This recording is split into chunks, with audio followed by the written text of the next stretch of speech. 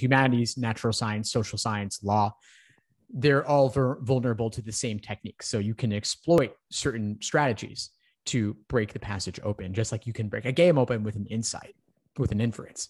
So for reading comp, if you don't like humanities, if that's not it for you, then definitely read more humanities, consume more humanities, get more familiar with it. And then the technique I would recommend, and you'll see this in the deep dive videos in the course on reading comp. Again, full length class recordings, walking through one passage in depth, breaking it down using the Socratic review method that I teach. And simplest thing I'll say right now on our call now is dumb down the passage for yourself. Find a way to make it relatable.